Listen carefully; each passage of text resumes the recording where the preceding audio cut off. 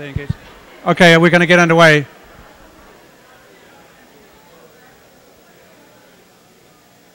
Um, it's a pity that nobody showed up because um, it's a bit of a coming out uh, party for, for Bjarke. Uh, Bjarke is an incredibly shy uh, person, and um, it, it, just doesn't like the glare of uh, publicity. Um, he used to work for OMA, but that was too visible. too many people could see him in, in the team. So formed the plot group in 2001. Um, but again, too much uh, spotlight. So he started the big office 2005, which is in uh, Copenhagen and, and in New York. So still very, very afraid uh, and comes to you with a lot of nervousness. Um, so please um, treat him really uh, gently. Um, uh, this is for sure somebody that thinks very small. Actually, this is, this is a great TV advertisement now. If you've seen this one about Think Small. Um, but anyway, uh, Bjarke.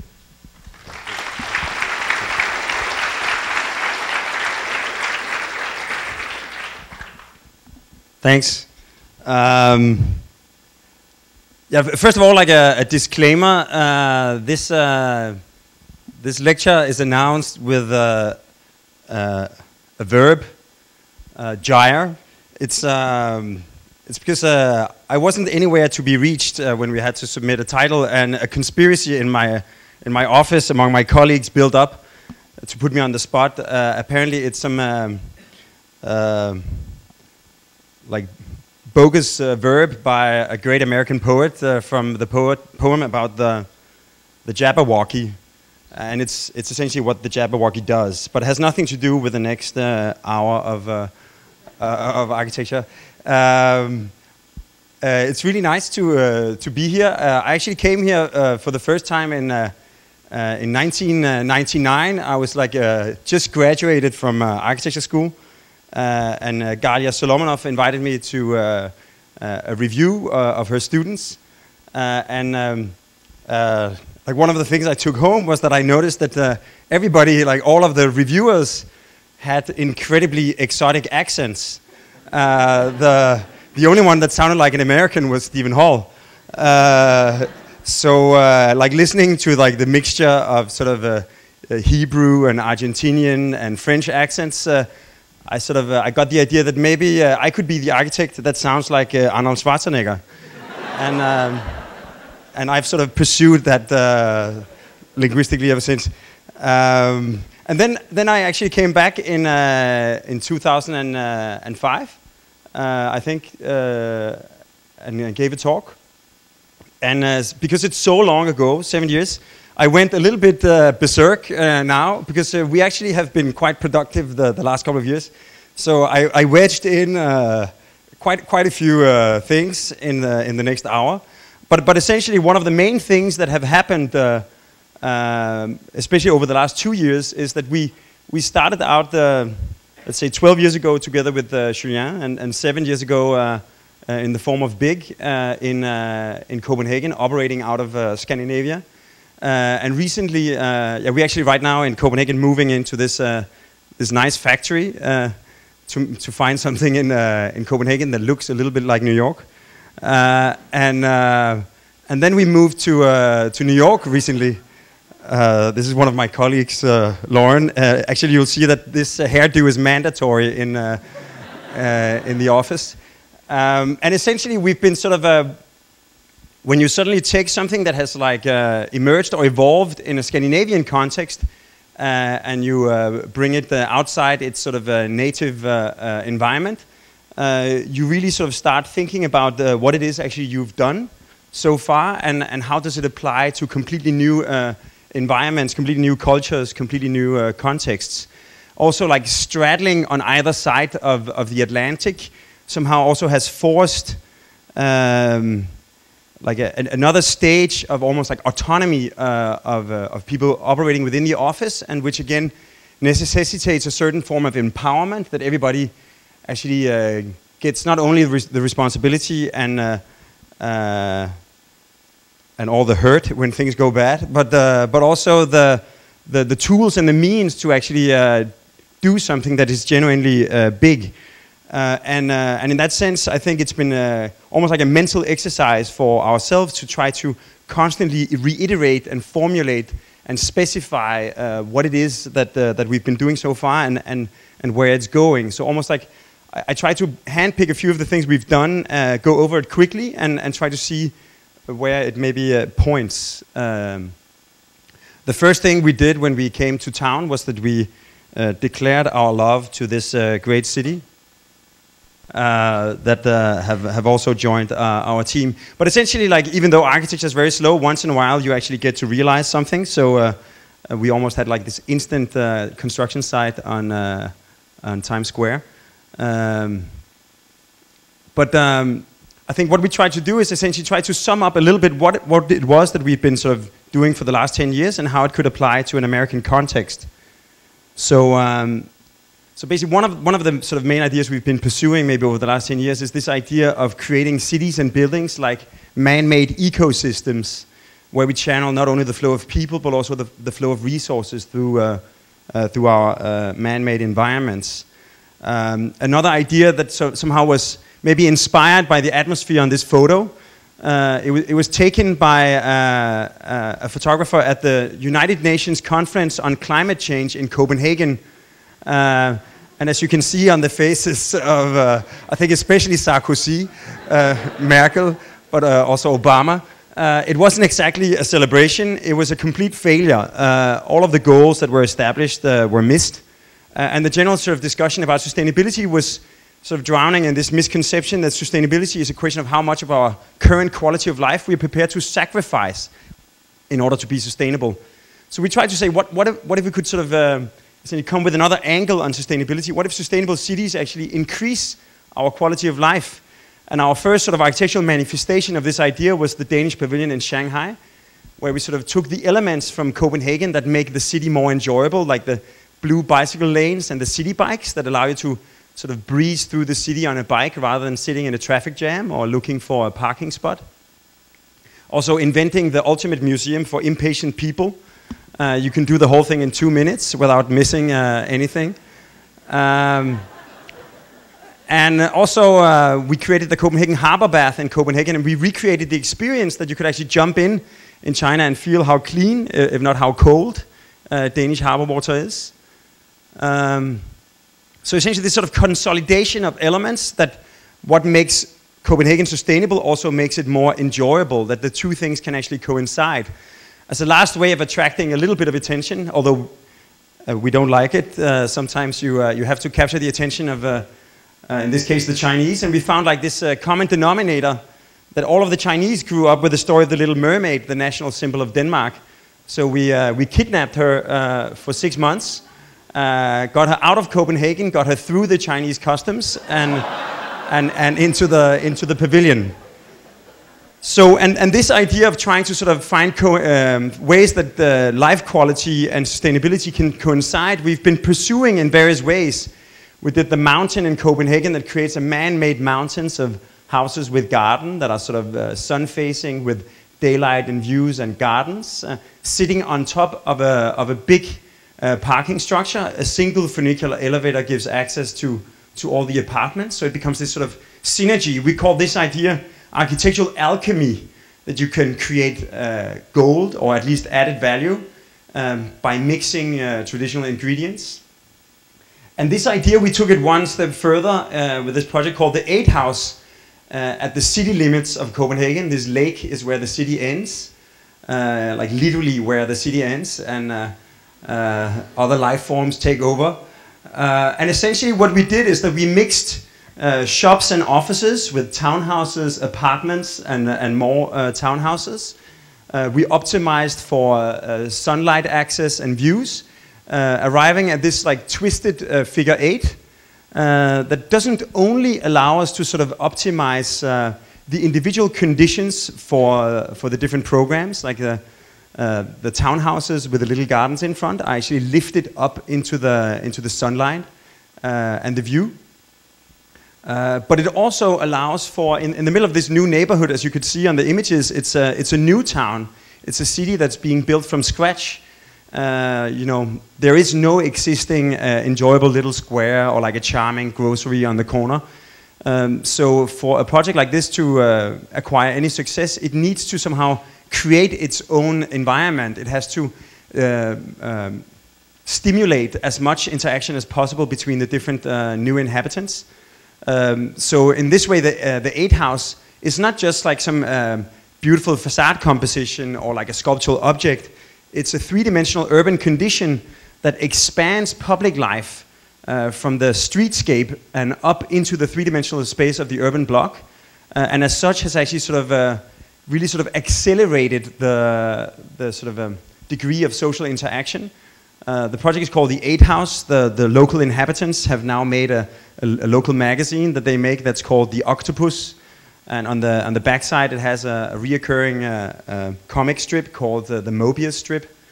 Um, so, like in, in, in, many ways, I think by inviting public life into the three-dimensional space of the block, it has also sort of accelerated this occurrence of a, or the creation of a, of a neighborhood. Um, also, all of the amenities uh, in the project are located where the eight uh, intersects itself. It's this bouncing uh, stair that uh, takes people all the way from the ground to uh, a shared roof terrace. And also it becomes this sort of man-made extension to the otherwise completely flat landscape of, uh, of Copenhagen.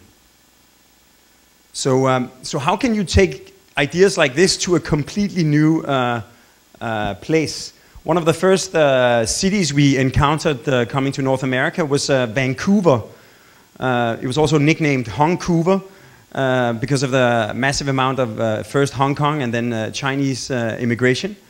right here where the Granville Bridge hits downtown and turns into a trifork and starts shredding our client's piece of land into triangles uh, we were asked to look at, the, at making this sort of a, a, new interpretation of this sort of Vancouverism model of uh, urban podium and, uh, and skinny towers.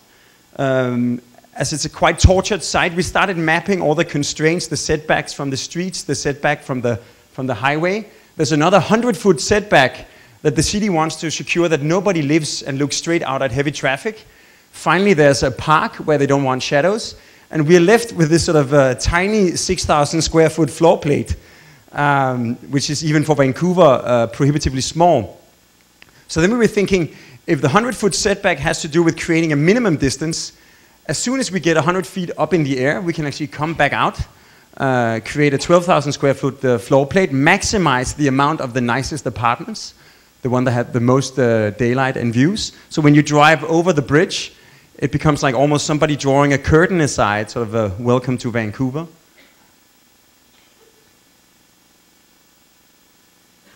So it's almost like taking the idea of the Flatiron. The Flatiron was this moment in uh, New York uh, history where real estate value, steel structure, and elevators made a previously ridiculous site uh, developable.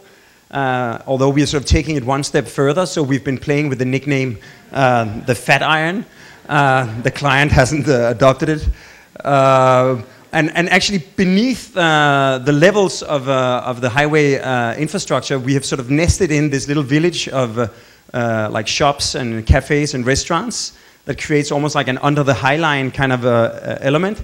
And if you've ever been to Vancouver, you know that having a canopy above the street can be a, it's all like an urban umbrella. Um,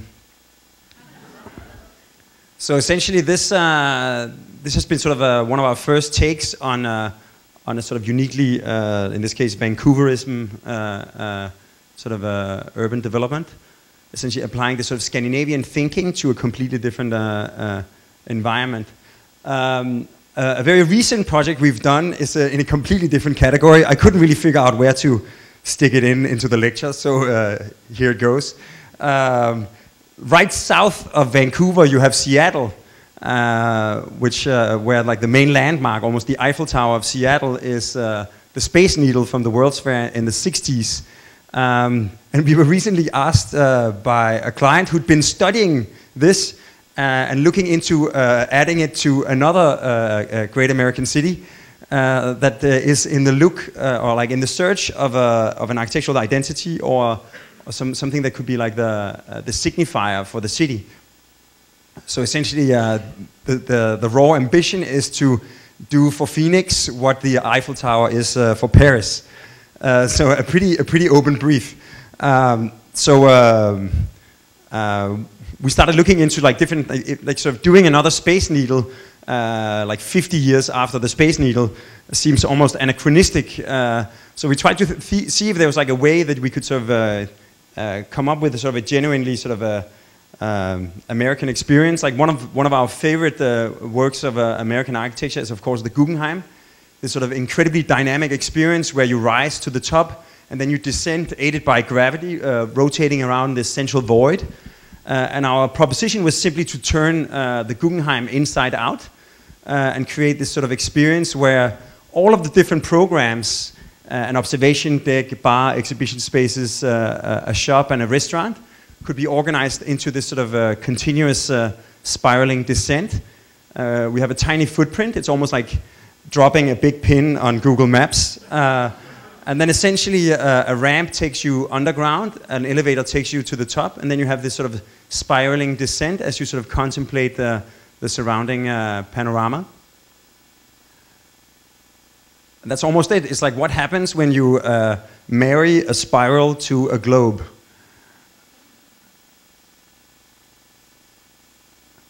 one of the things that happens is that uh, when you start on the North Pole, the circumference gradually gets bigger, so the floor plates gets bigger towards the middle, and then they get small again towards the South Pole. So you get this sort of uh, almost like a cigar of continuous program.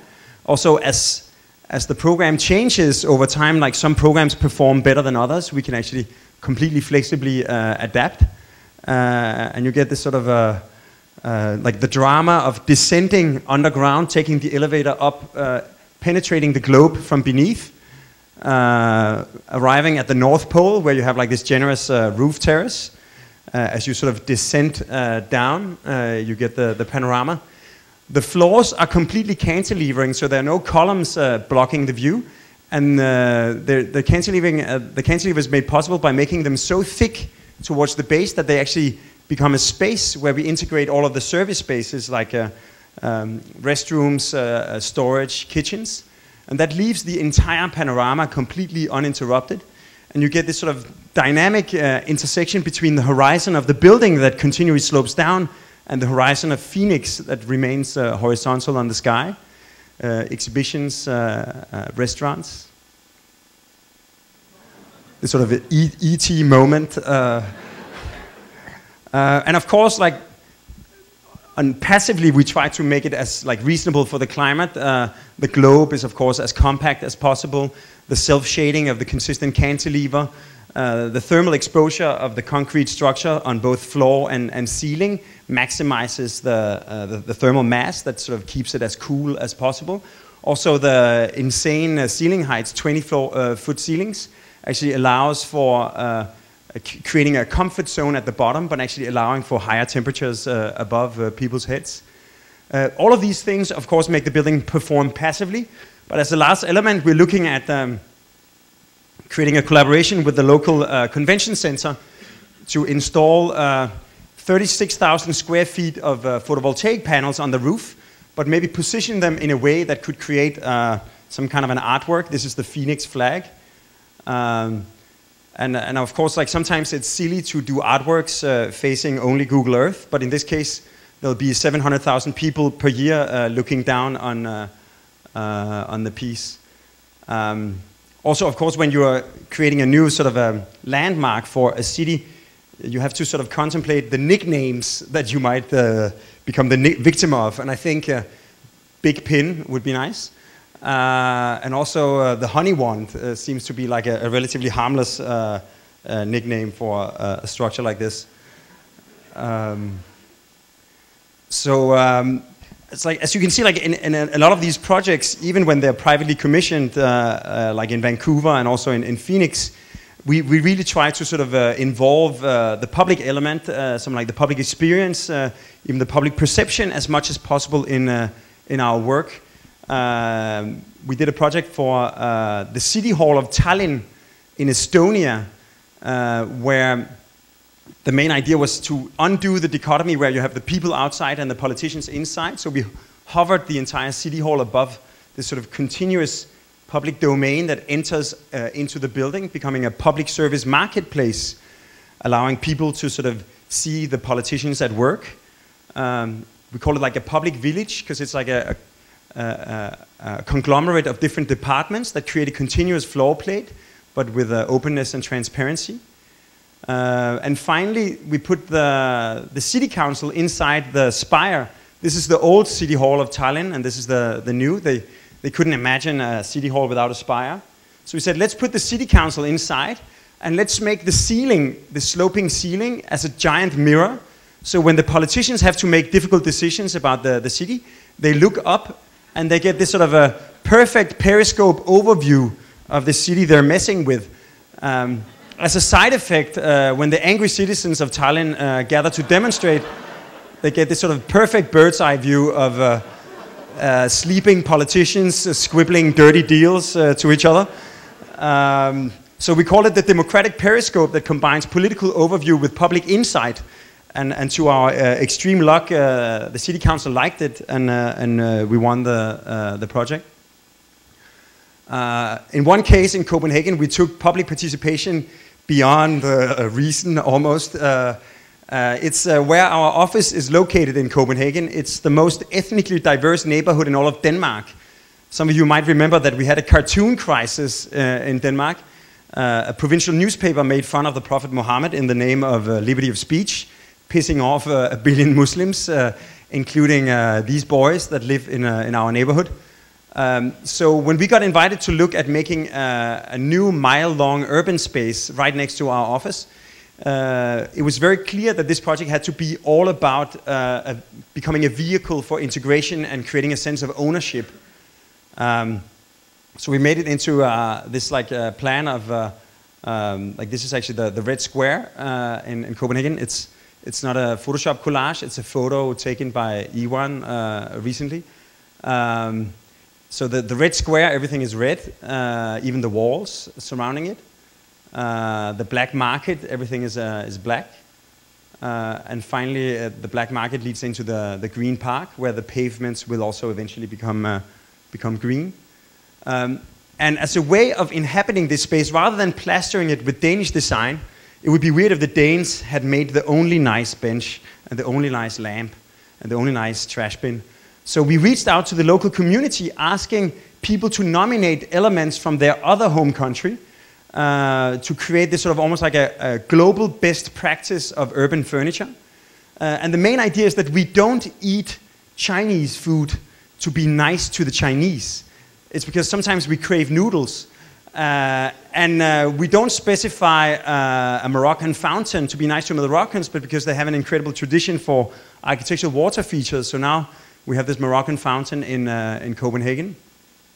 We, we made a, a Muscle Beach that combines elements from Los Angeles, uh, uh, uh Thailand, China, this uh, outrageous Estonian swing. Uh, we, we actually ran into a liability issue with the, with the swing.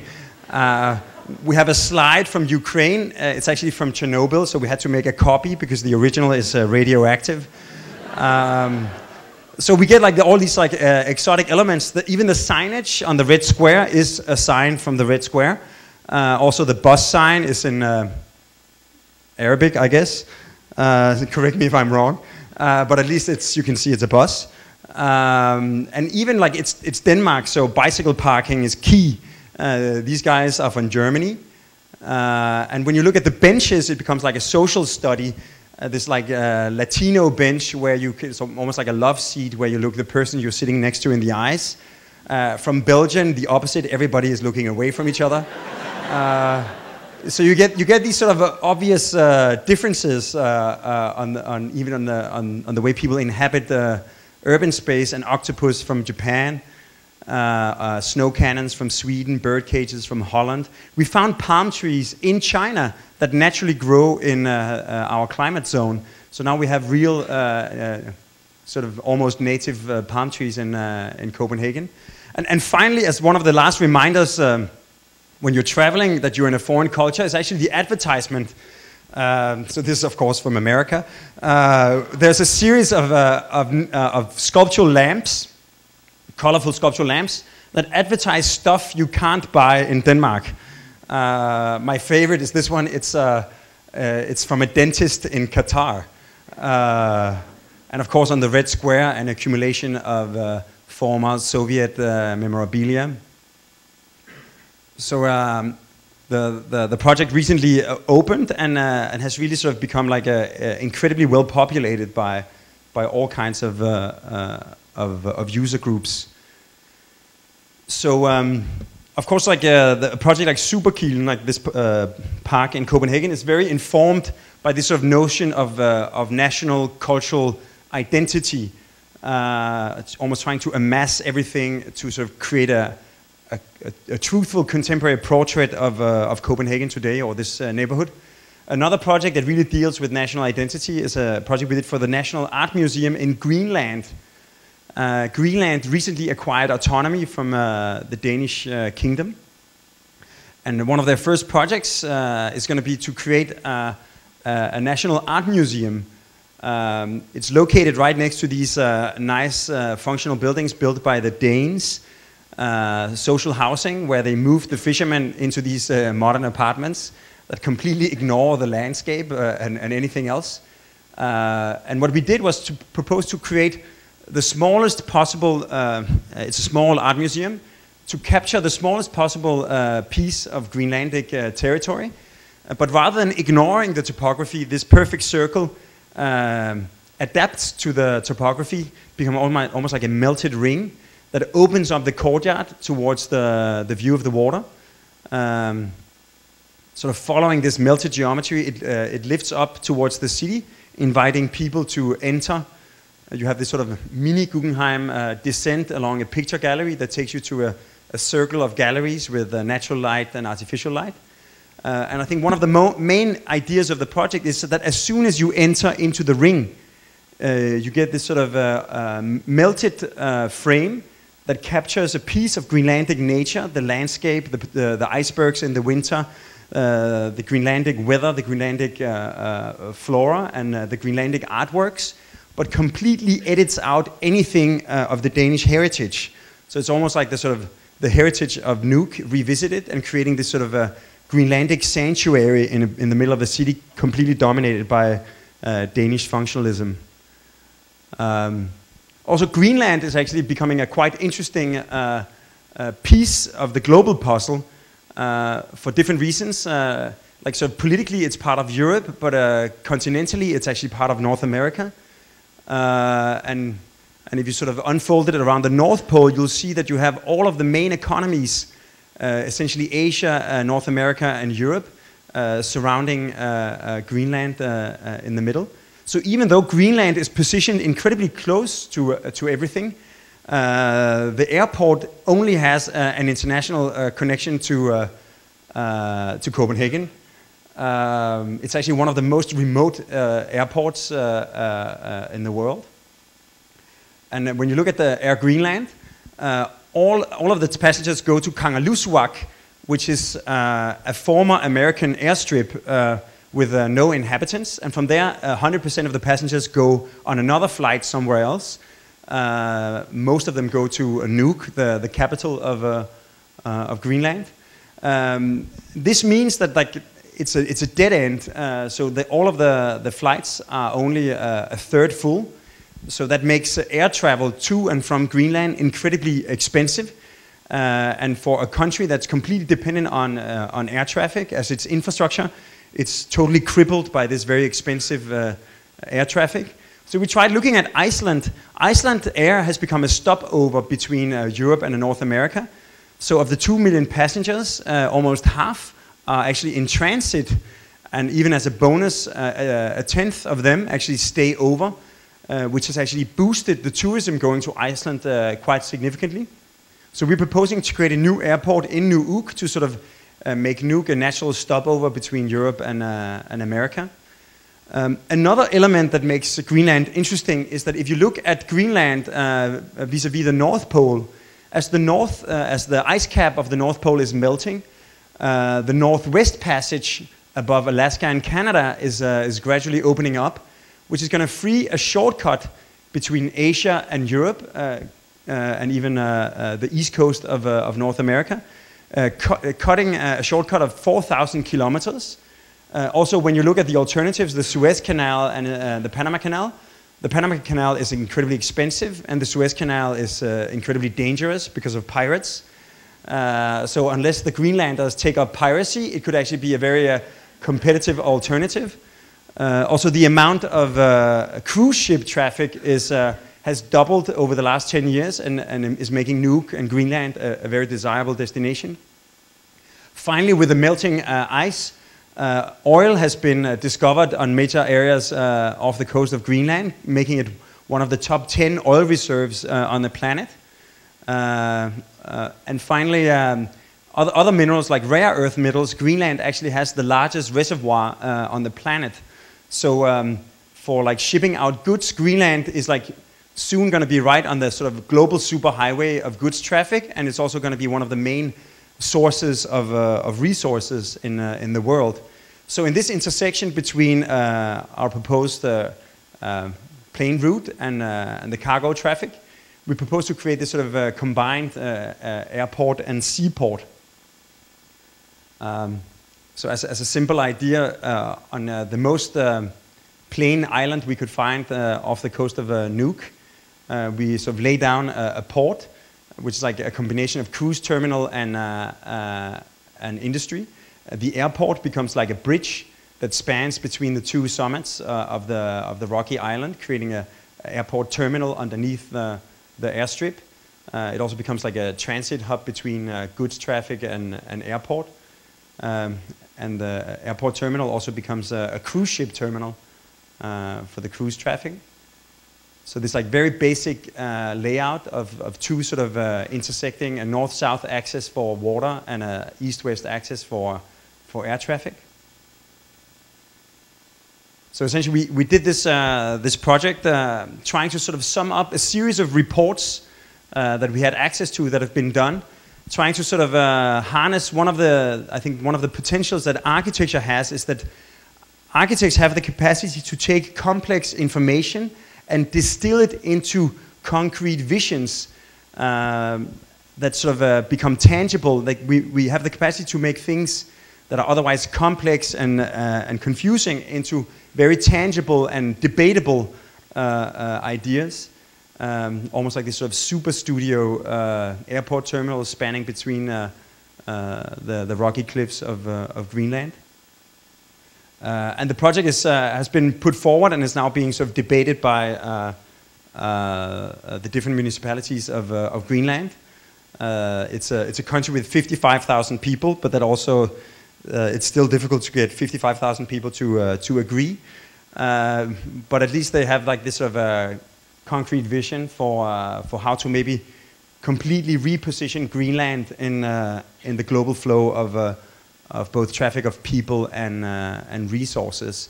It's also on display at the, at the Venice Architecture Biennale right now in, uh, uh, in Venice. This sort of leads me to the last um, category of projects that we've sort of become interested in uh, recently. This sort of idea of the relationship between social and cultural programs and, uh, and infrastructure.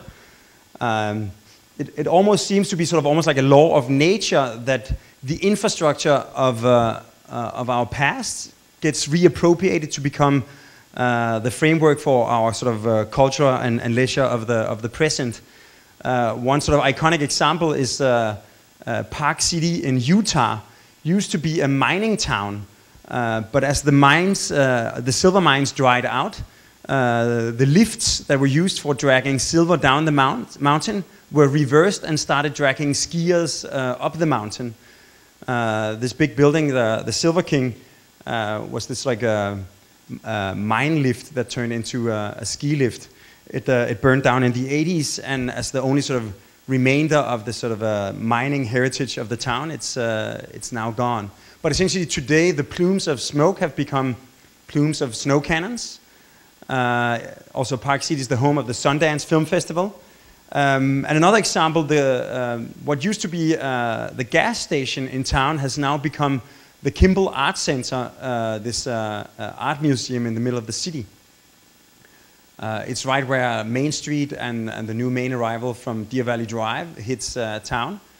And they wanted to expand, uh, turn the old uh, garage into a learning center and make a new uh, uh, um, sort of building for exhibitions, two galleries and some shared facilities.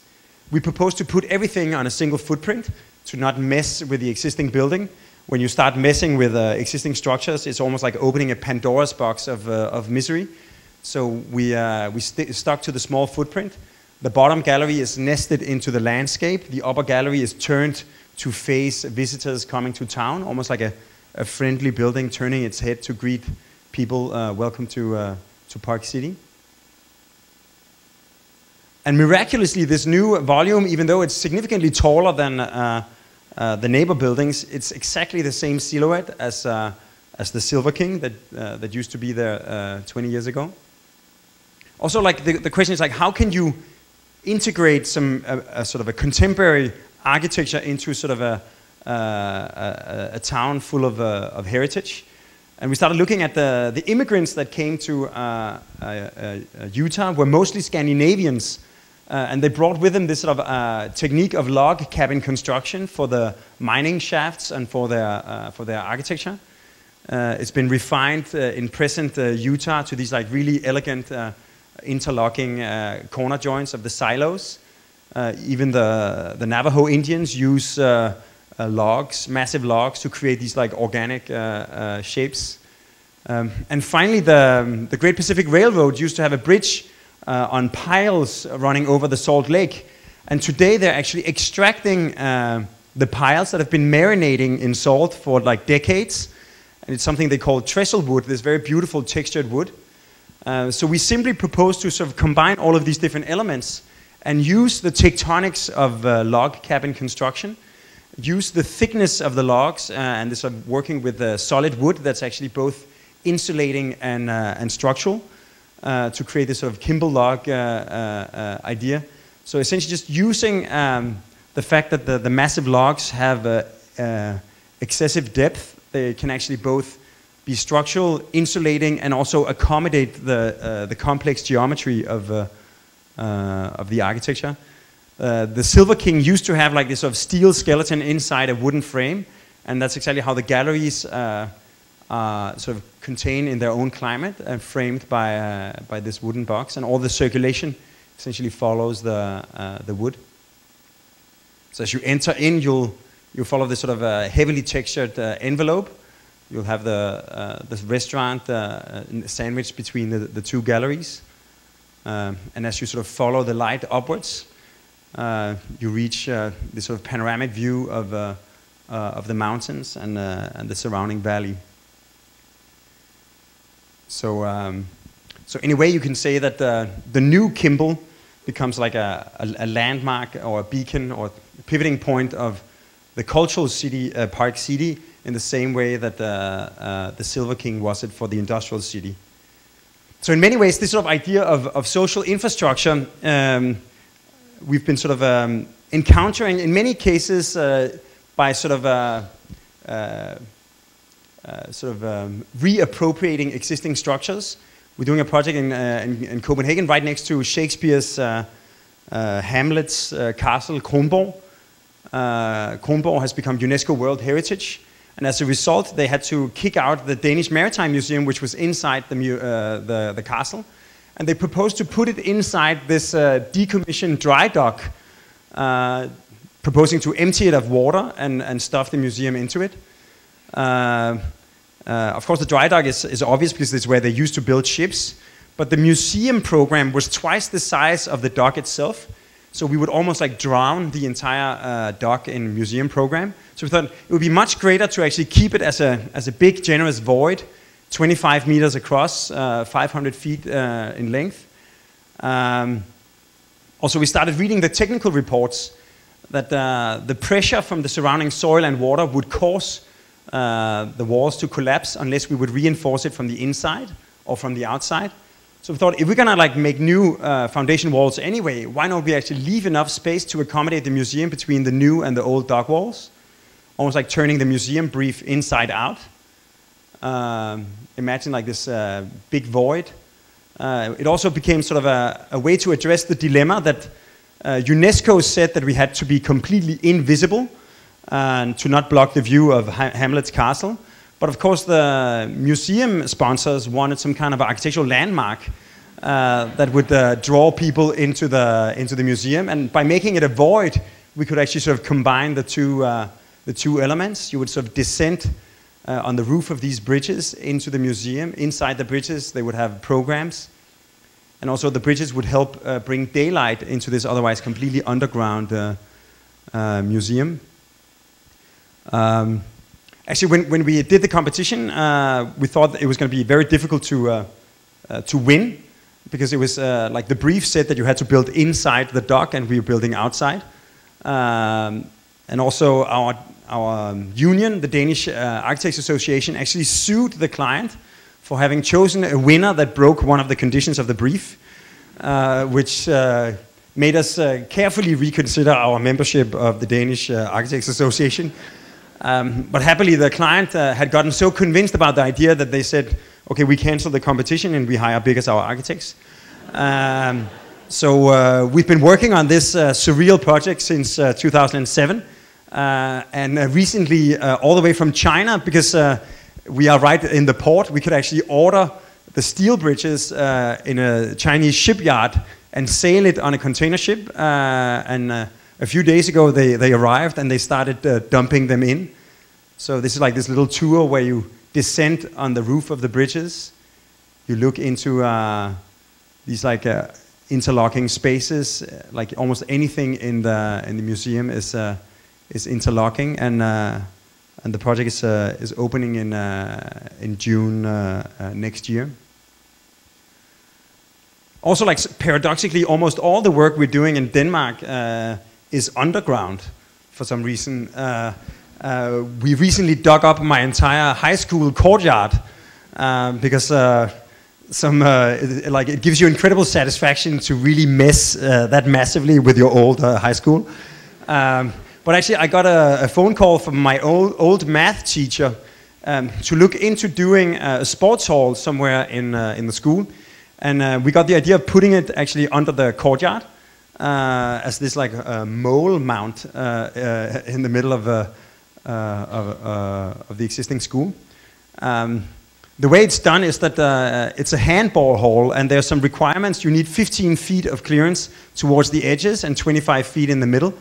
Um, so almost like a, as an homage to my old math teacher, uh, we used the formula for gravity's rainbow, uh, the curve of a thrown uh, object, uh, to uh, sort of shape uh, the roof structure of the, um, of the sports hall.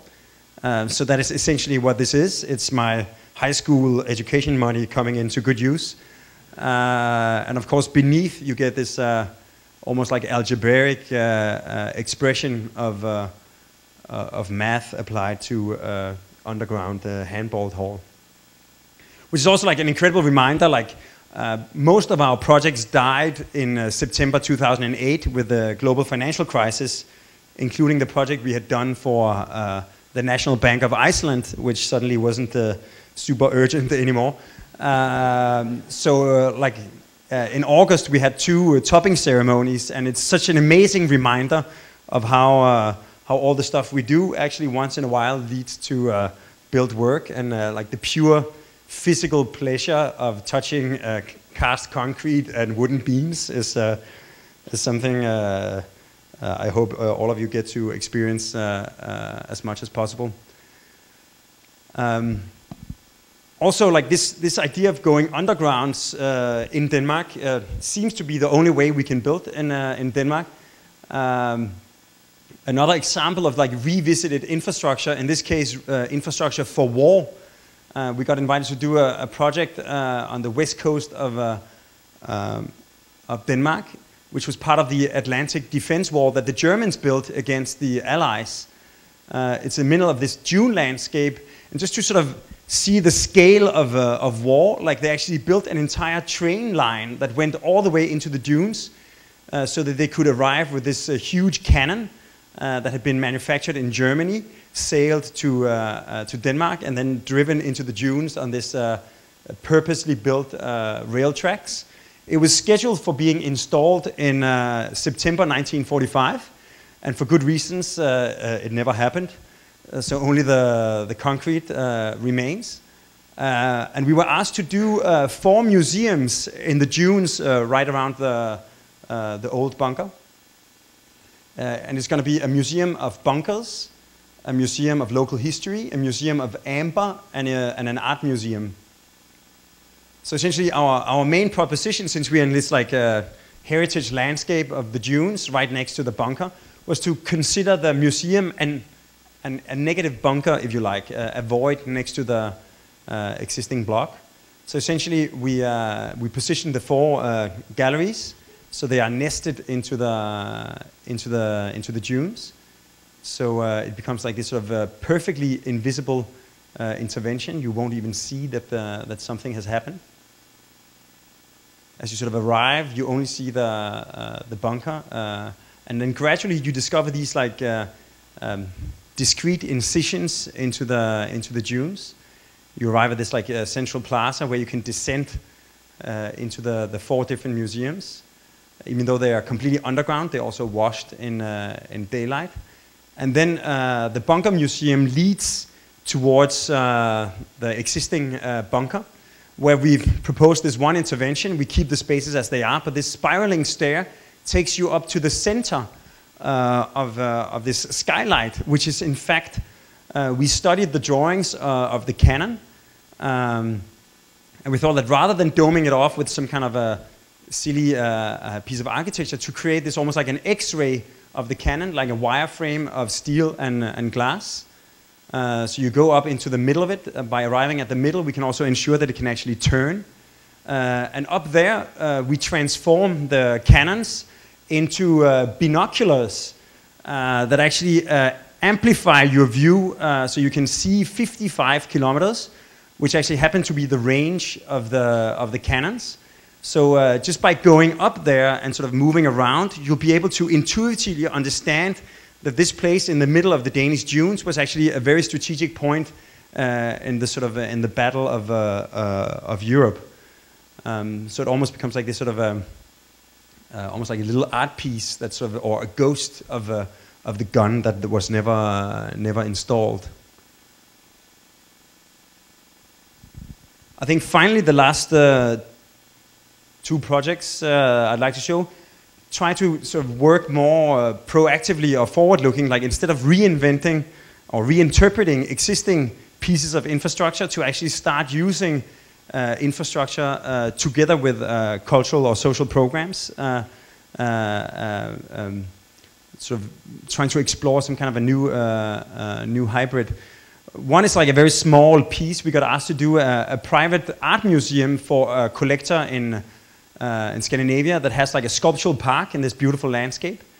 Um, he has an existing uh, sculpture park, uh, and he has just made a, a big new land purchase. So uh, um, that would essentially create like a, a, kind of confused circulation in his uh, park. And we proposed that the art museum itself, which is only like a, a 20,000 square foot building, could become a bridge, um, bridging across the, the river creating a continuous loop through the, the different sculptures. And essentially, you have a slope on one side and a horizontal uh, landscape on the other side. So, to mitigate the difference in topography, uh, this um, museum uh, uh makes a 90 degree turn. Also, having a, a big project room with sidelight, skylit galleries, uh, media galleries, and painting galleries, and like this sort of very specific space in the middle joining the, the different galleries. A single window, a single skylight turns into a panoramic view. And as you sort of enter into the, into the bridge, you arrive from the flat side. You have this sort of stack of galleries uh, above each other. Uh, you move up to where the building makes a, a, 90 degree turn and the twist creates this fanning staircase that joins all of the different uh, galleries. You have this amazing uh, skylight that sort of flips down and becomes a panoramic view of the existing uh, mill that's sitting uh, uh, on the river. And you can sort of continue through the, the sculpture park. So in a way, it becomes a hybrid between a building, a bridge, and a, and a sculpture. You can almost see the museum as one of the bigger sculptures uh, in this park that also counts Oldenburgs and uh, Serras and, uh, and, uh, and Anish Kapoors. Um, so depending on where you see it from, it really becomes like this sort of almost enigmatic object uh, uh, in its own right. So that leads me to um, like one project we've done in Copenhagen that I think somehow sums up all of the different elements that we've been working with over the last uh, decade. Uh, we got invited by uh, the 10 municipalities of uh, metropolitan Copenhagen to look at making a master plan for the 10 municipalities, trying to look a few decades into the future and looking at how this sort of urban periphery could be tied together with a new train line. And we thought if we want to talk about the city, the, the future of Copenhagen, we can't just look at Copenhagen or we can't just look at the, the outskirts. We also have to look uh, at the Swedish side, like right on the other side of this bridge, we have uh, Sweden and uh, another 10 municipalities that have almost the same uh, demographic uh, and economy as, uh, as, as, our client. It's essentially the most dense and most economically prosperous part of, of Scandinavia. And just by adding a three mile bridge, we can create a single metropolitan loop where no area is going to be further away than 40 minutes by public transportation. It also consolidates all of the best businesses in, uh, in Scandinavia into a, a, single region. And by merging it and creating a binational master plan, we introduce pink in a Scandinavian flag uh, for the first time. It's also the same size as the San Francisco Bay Area. So as an urban entity, it's a kind of known uh, quantity.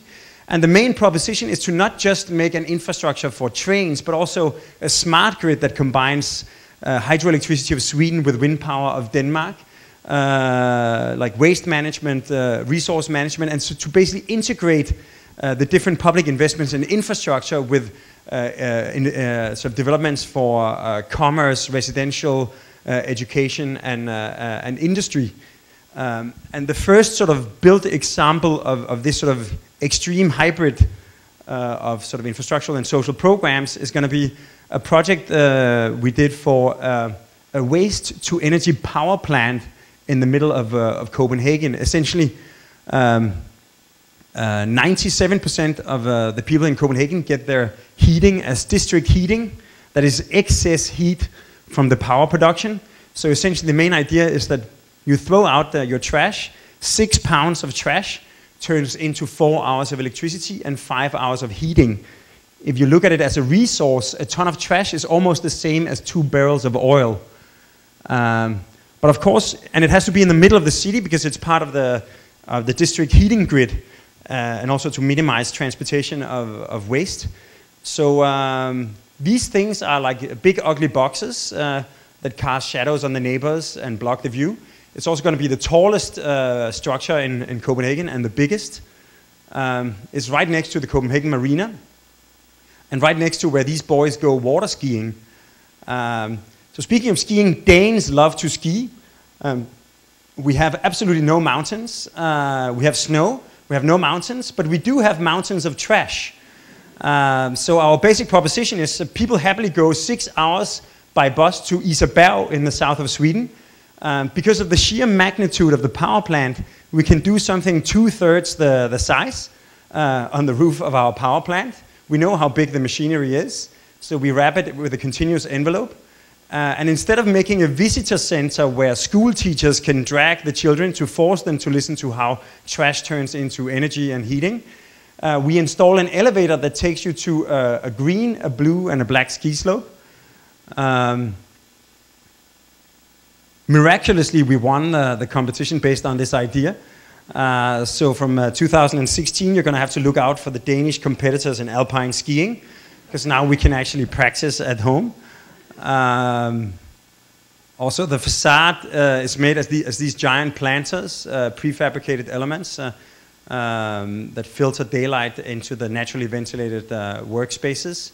So you can say, in many ways, this sort of idea that I, I, started with of trying to consider cities and buildings as man-made ecosystems is very close to completion in this case, where not only do we harvest locally available resources like daylight, chimney effect of natural ventilation, the water accumulated on the roof, but also together with the city, uh, the waste turning into heat and electricity, uh, the project creates a, a giant man-made uh, ecosystem.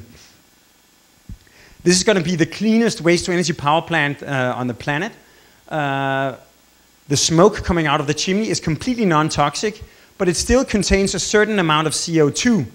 Um, so together with Realities United from Berlin, we, we developed this idea uh, that uh, the chimney accumulates uh, CO2, and when there's uh, 200 kilos, this piston compresses and puffs a gigantic smoke ring.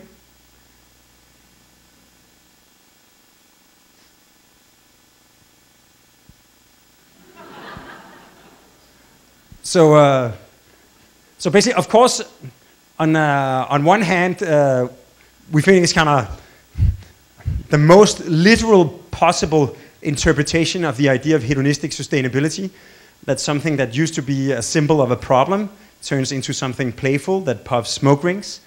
Uh, but also, more importantly, um, I think for, for anything in, in architecture or anything in life, uh, understanding precedes action. That if people don't know, they can't act.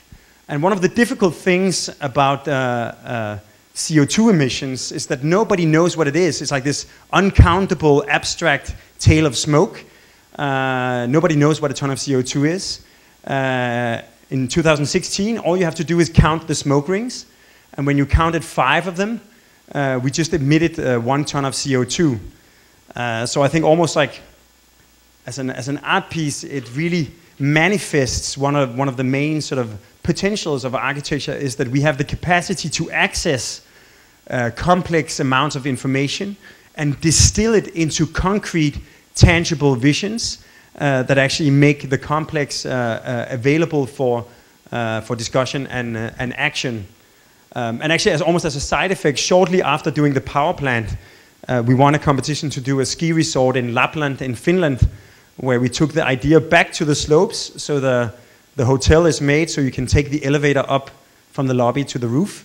Uh, and then uh, the roof of the hotel is actually the, the first part of, uh, of the ski slope. So first we stole the idea from the mountains and then, and then brought it back. Actually, as, as the last sort of a proof that this also works in New York City, um, the reason that we came here uh, two years ago to open our office was that uh, the Durst organization, that actually when I was teaching at Columbia, uh, like academia can lead to the most uh, interesting things. I was teaching here three years ago, and, and one of our sites was a Durst-owned uh, plot of land on 42nd Street, and we invited uh, people from Durst to review the students. Um, and I, I, guess I have to thank uh, my students at the time because like they didn't scare off uh, Durst and made Durst come back uh, for more. Uh, namely, the site on West 57th Street, which even though it's beautifully located on the waterfront, is, is, sandwiched between a power plant and a waste management facility, not combined, and then a, a highway. So our main suggestion was to almost like create a sense of place and in a way like the Copenhagen courtyard, this is where my dad grew up. Uh, the Copenhagen courtyard is almost at the architectural scale what Central Park is at an urban scale, like a green oasis in the middle of the dense city. So the question became like, what happens when skyscraper meets courtyard, or what would a, a court scraper look like? Um, that's basically it. We placed the courtyard next to the Helena. Um, we try to preserve all of her views because she's owned by our client. Uh, then we raised the northeast corner to 470 feet, creating Manhattan density, while still uh, preserving daylight access, sunshine, and views uh, from the entire courtyard. And as a result, we create this sort of rather striking new silhouette on, uh, on the west side, uh, this sort of hybrid between a, a, courtyard and a skyscraper. From the east, it looks more like a spire. Uh, when you sort of enter into the lobbies. Uh, the sort of a grand stair takes you up into the, the courtyard that leads you uh, towards this uh, um, almost like the bottom of the valley. You actually have 42 inches, and in the other corner you have 400 feet. Uh, so this sort of extreme uh, asymmetry. Uh, all of the tenants looking towards the, the roof have little terraces sunken into the into the roofscape. Um, and they all have views over the Hudson and, uh, and the Hudson River Park. So as, a, as an architectural idea, it's almost like continuing the transformation that New York has gone through by transforming its former uh, industrial waterfront into parks or the High Line into a, a, a sort of an urban promenade. Uh, and this idea of rejuvenation is actually starting to invade uh, the courtyard uh, uh, itself. Um, we broke ground on this thing uh, two months ago. It's currently a hole in Manhattan the size of two soccer fields. Um, and in, um, with a little bit of luck, in three and a half years, this could be the view going up and down the west side of the highway.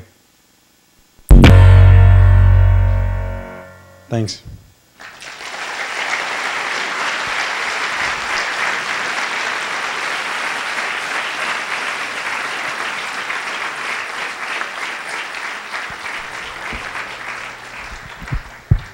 So, for those of you who have energy, uh,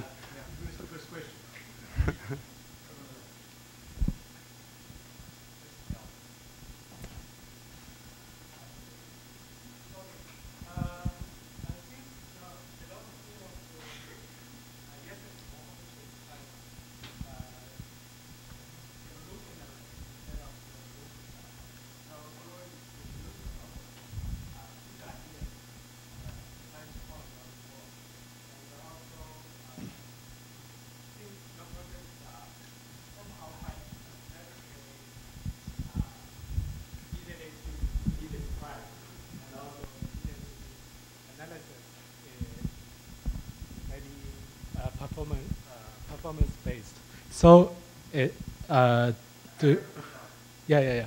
I'm, the second one, the, since your uh, somehow your your projects are quite mathematically uh, easy to be described. uh, so, is there any? Uh, do you think of any way to establish a library to uh, quantify all these ideas and uh, and to uh, Uh, to uh, make some uh, uh use some computational uh, method to make help help designers not to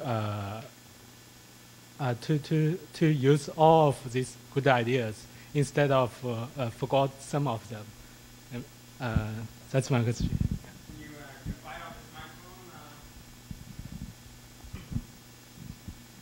I think it's on.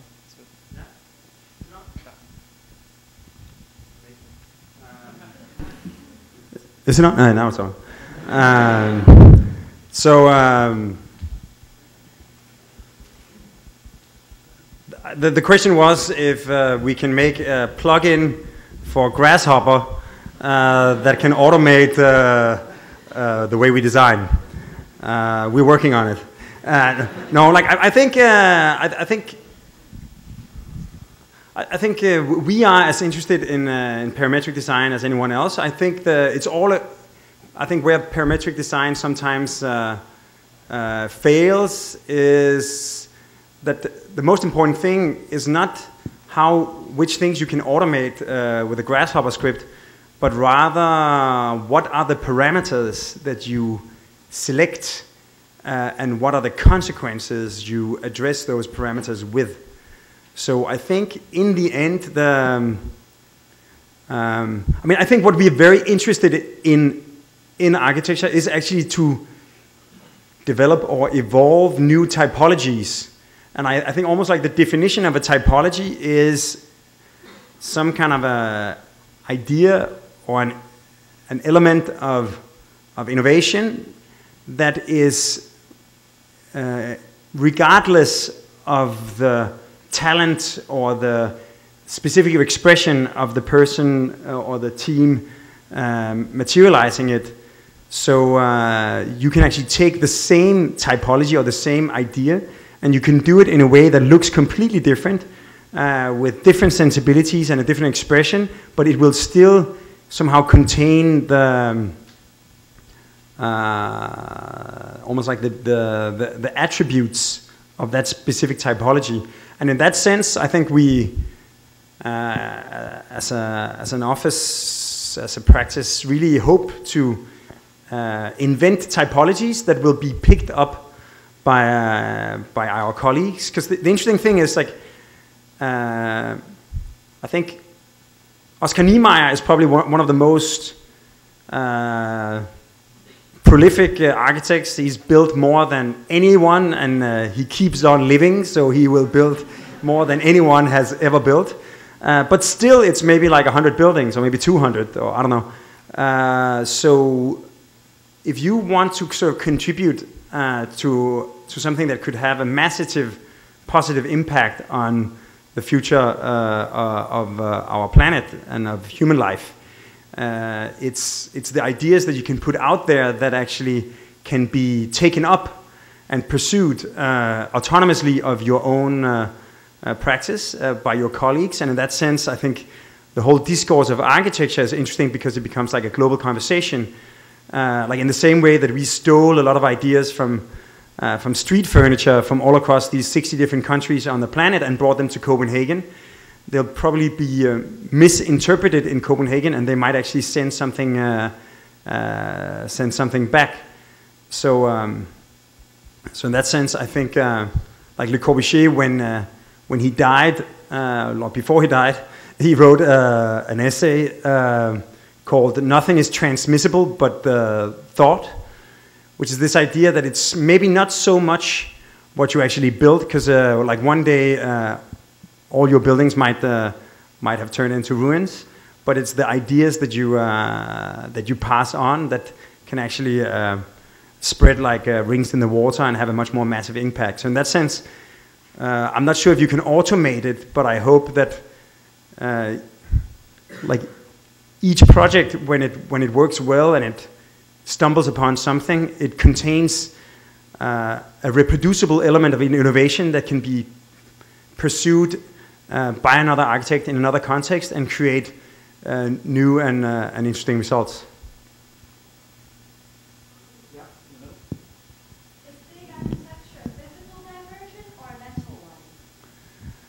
Uh, physical diversion or a mental diversion. The question was if big architecture is a physical or a mental diversion. Um, um, our, our next book is going to be uh, titled uh, Bigamy. Uh, you can have both. Uh, because I, because I, I think, and which is something that applies to maybe all other things than, than romance, although it has even been pursued by even by architects. Uh, but um, I, I, think quite often, uh, especially in academia, there's a desire to distill things into uh, diametric opposites. And I think almost as a law of nature, um, evolution or innovation often occurs when you actually take things that seem mutually exclusive and you combine them in, uh, uh, in, in, in, radical new hybrids. Uh, I think even down to like, like of course, like in, in Darwinian evolution, it's a it's a male and a female uh, with opposing uh, attributes and often tempers that uh, are attracted and have spin-off or offspring that combine their attributes. But also in architecture, I think the whole the fundamental condition of the city is that you have a constricted space uh, that is occupied by many different people from many different cultures or age groups or languages or nationalities or professions. And we have to find, we, we have to constantly try to orchestrate ways of successfully accommodating this, uh, uh, this coexistence. Uh, so I think in that sense, um, uh, I think almost in any case, um, any anytime you can say something, uh, the opposite is also, if not true, then at least uh, possible. And I think, I think it's, the, it's the combination of something mental and, and physical, something emotional and intellectual, uh, where you have uh, uh the, real, um, the real synergy or the real uh, potential to move forward.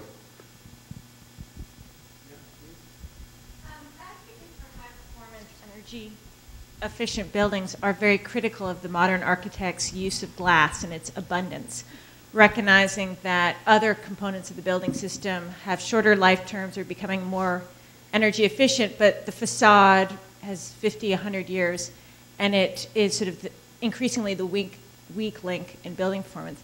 Can you talk about how you use glass, recognizing its pros and cons in this regard? Um, yeah, like glass is very good for daylight.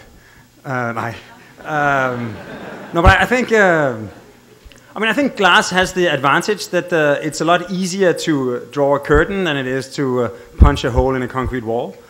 Um, I think it's, I mean, essentially, I think actually the, the studio that I taught here at Columbia was called uh, uh Vernacular 2.0.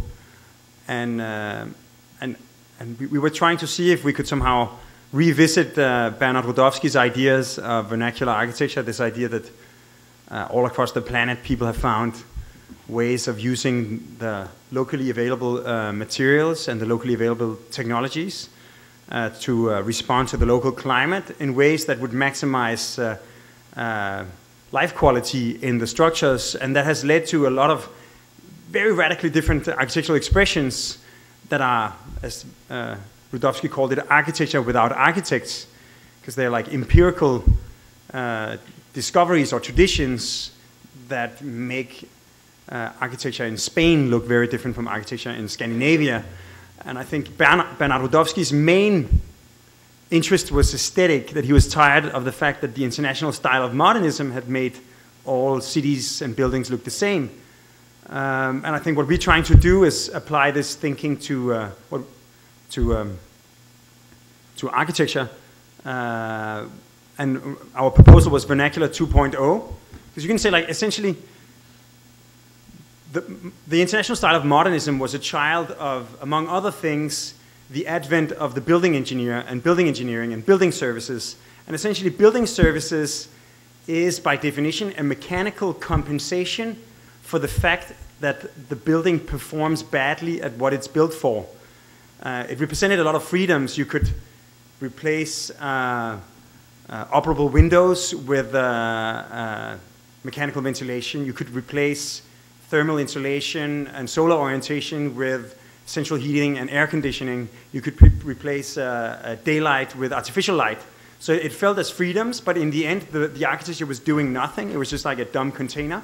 And then it had a basement full of gas guzzling machinery that was like pumping uh, quality into, uh, uh, into this uh, tube-fed patient. And, and the proposition of the studio was that once again, we have to find out that buildings have to look different in different environments, in different climates. Um, so we call it not architecture without architects, but engineering without engines. That, that you could use contemporary engineering, the capacity to model and simulate and calculate, to uh, bring attribute back into the permanent design of the building, the orientation of the, of the structure, the, uh, the use of materials, uh, the size of the cantilevers, the overhangs, the natural shade, uh, etc., so that the building would end up looking different because it was performing different. Uh, and I think you'll find that in some contexts, like for instance, like in Scandinavian context, glass, especially glass applied to the right facades, can be very beneficial very beneficial because you can uh, harvest a lot of passive solar heat gain, and especially when the sun is coming at a low angle, uh, uh, that's the time when you really would like to harvest uh, the potential for thermal uh, solar heat gain. And when the sun is higher on the sky, uh, you get more natural shade from potential overhang. So in that sense, it's always a question of calibrating the architecture, including the use of glass, to, to whatever context you're in.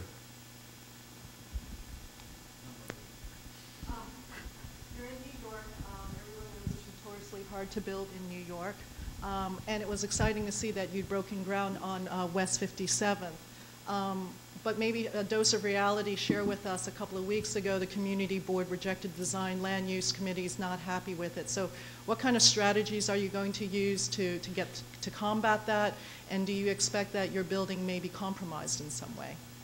I think, um, I mean, architecture is, of course, like insanely uh, complex to get anything to happen. Uh, you have to sort of transmit your ideas uh, to um, an army of um, consultants and clients and, uh, and municipal politicians and, and uh, city planning department and, and, and neighbors, etc. And before you get to realize anything, you have to celebrate like a thousand victories and, uh, and a single defeat, uh, and the project is dead. Uh, so I think what, what, what, where we are now is that um, uh, the city council loves the, the building. They even say that they would like to do uh, uh, almost like anything they can to make, the, to make sure that this project gets realized. But at the same time, they have this one moment where there's a rezoning, so they, uh, and, and it, it is a kind of a hostage situation where, uh, like, before they, they give their uh, approval, they, they can try to demand as much as possible. The specific case is that uh, Durst has offered to do a 20% uh, affordable rental uh, in the project. Um, and uh, to go beyond the traditional 20 years, they have actually offered 35 years, but now the, the city council is demanding infinite affordability. So um, it's somehow it's so beyond architecture that uh, it's, uh, it's it's a completely different uh, negotiation and and although we like to think of ourselves as omnipotent, uh, this is probably uh, like a little bit uh, outside our sphere of influence. I'm, I'm still relatively optimistic because. Um, at least the, the hole in the ground is getting bigger, so, so, so some, somebody somewhere is, is still optimistic.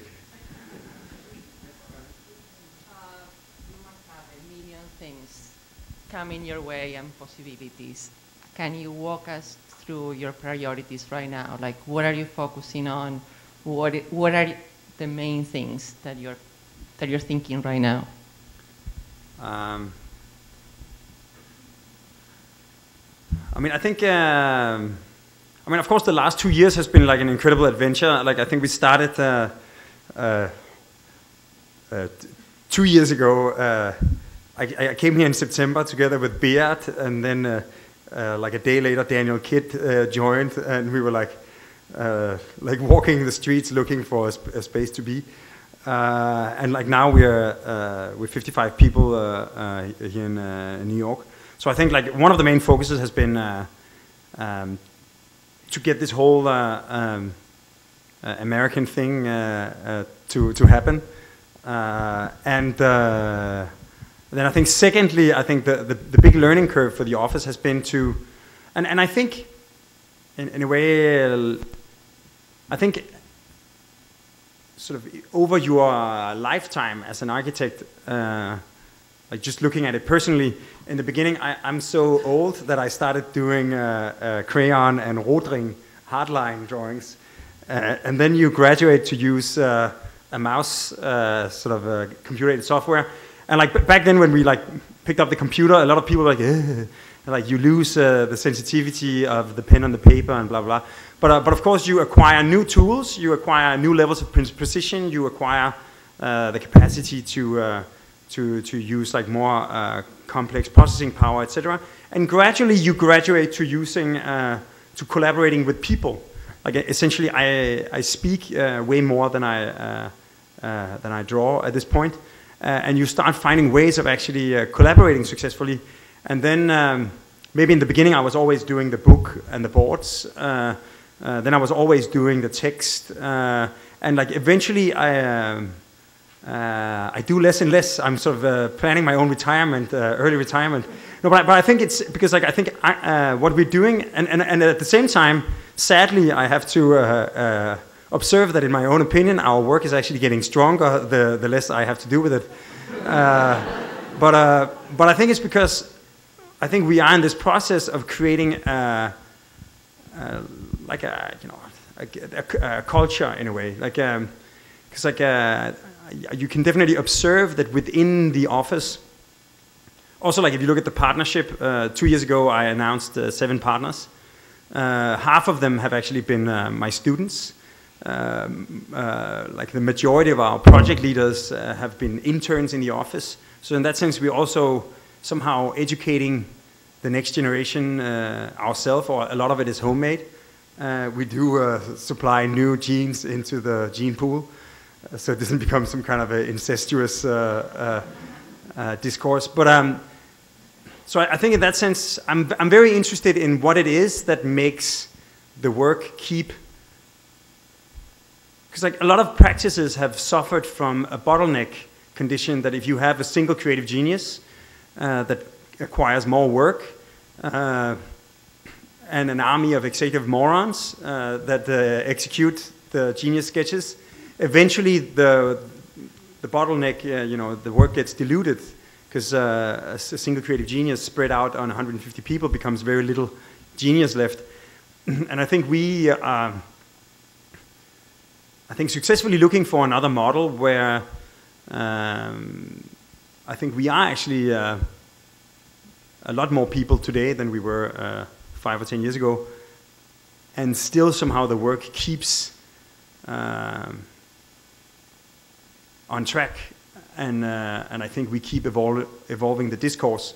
So so I think that has maybe been my main focus is straddling uh, on both sides of the Atlantic. How do we make sure that both uh, both offices uh, keep growing and uh, and also let's say. Um, of the people that are now in, uh, in New York, um, maybe five or ten of us have somehow uh, been part of BIG in Copenhagen, and the other 50 are coming from, from elsewhere. So how do you maintain getting this like relatively quickly accumulated body of people to actually work um, as big or whatever?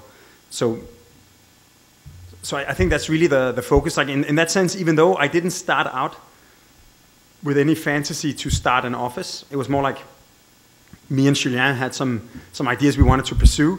Uh, and then, you know, doing it on our own became the logical way to do that. Uh, and then eventually we, uh, we, we decided to pursue them uh, with other people in other setups. And, but, but I think gradually I've become more and more interested in considering the office itself a work of architecture, like the sort of people architecture or creative architecture. Uh, and I think that um, I think we're still not there. But I, I, think if we can if we can crack that uh, uh, that mystery, then maybe the uh, the grasshopper uh, plugin that you were uh, requesting can can be available. so I will ask a question that probably just needs a yes or a no as an answer. Um, looking into Weiwei's last documentary, there is this very nice moment at the beginning where he talks about his cats. He has like 30 cats in his courtyard, and he hates cats. But there is one of those cats that has actually learned um, how to open the door of the studio. Only one of the cats has learned. Which documentary was this? It's a last Ai Weiwei's documentary film. It's called, who has seen it, guys? But who is the person? Ai Weiwei. Ah, wait, wait, okay. Yes, sorry. So um, from these 30 cats, right, one managed to open the door. It's an extremely learning process of intelligence that has a very pragmatic purpose. But he says what is fascinating about the cat is not only that he learns to open the door, is he doesn't learn to close it, right? And so my impression is that you are one of those cats that learns how to open the doors, but also to close it. Meaning that you become extremely pragmatic, extremely smart in adopting, taking everything that history has given us, uh, typologies, forms, materials, technology, engineering, to the point that is overly strange, easy to find an individual that brings all those things. It's like a cat that opens a door and closes a door as well, right? So my question is, is this idea of extreme rigor and extreme pragmatism of course, with an amazing dose of optimism that is the one that you bring. My question is, is the one of, of the cat, right? We love cats because when they open the door and they leave, we have no idea where they are going.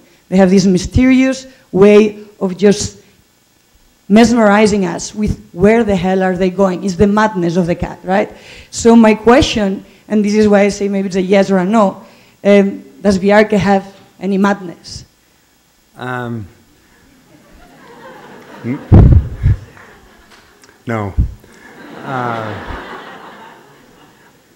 I mean, I think um, I think I, uh, I had the rare, rare pleasure of uh, I had like a, a, short trip to LA uh, last week, uh, where I got to do a handful of really enjoyable things. I got to visit the the Chemosphere, the Lautner House uh, at Benediktstation.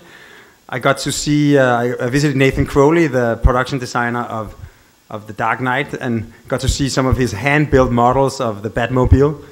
Uh, and then I got to meet Quincy Jones, uh, and Quincy Jones was spending the day on a. Uh, he had like this uh, sports um, uh, drinking bottle from uh, from the bicycle that had like a special mixture of some kind of herbal herbal Brazilian thing and and a and a very sort of specific Brazilian vodka. And as the day advanced, he got more and more um, prophetic. Uh, and uh, at some point, um, uh, he was just telling me like he was constant. He was like this sort of constantly like telling all these stories about you know all the, all the like amazing people he's been hanging out with and all the things he's been doing. And I said like it was amazing that beyond music that he's done so much. Uh, and then he says, yeah, but you know that, you know, like if you can combine uh, the emotional and the intellectual, then you can do anything. And, and I think, um, of course, I talk a lot about um, why things work and where they come from. Uh, but I think uh, Darwinian evolution is not only uh, you know, mechanical uh, utilitarian. It's not only uh, that you know the giraffe can reach the higher leaves, so therefore it gets the, the, the long neck, or the turtle doesn't get eaten because it has a panzer, like this sort of predator-prey arms race. A major component in evolution is female mating preference, which is that peacock, female peacocks prefer male peacocks with uh, tons of feathers that are very long and uh, highly unpractical uh, and, and actually super dangerous to drag around in the jungle because uh, you can really get eaten if you're dragging that much feather around. Uh, uh, so I think in that sense, in the middle of all this, a major element in the architectural evolution that occurs within the office is, of course, our own personal satisfaction. and, and I think I, I like maybe um, maybe to finish off, I think uh, architecture is very much like portraiture, painting a portrait. Uh, because I always uh, like to say that uh, it's not going to be my building, it's not going to be our building, it's going to be the client's building or the user's building. So if, uh, if they don't want it, it's definitely not going to happen.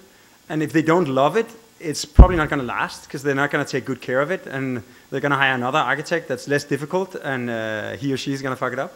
Uh, so, uh, or they're going to do it on their own. Like, uh, so I think in the end, the just like a successful portrait, if you're painting or shooting, sculpting a portrait of someone, it's your as an artist capacity to capture the essence of the character, the personality, the attributes, even unlock things that might be hidden or bring to light things that are unseen or secret about this person so that you can actually create uh, a portrait that, that is even more like the person than the person, uh, him or herself. Uh, and it's the same way in, uh, uh, in architecture. If you can sort of discover things that, uh, that hadn't been identified, sort of identify new, new forms of behavior or, or potential or problems that hadn't been addressed, you, you won't end up blocking uh, the sort of the social flow or the cultural flow or whatever flow through the world. You'll end up actually creating the framework around it, and your work will bring to light, will manifest things that were otherwise uh, invisible. And in the end, a beautiful portrait is both 100% the subject you're portraying and 100% the expression of the artist making it. So, so the answer was no. Uh,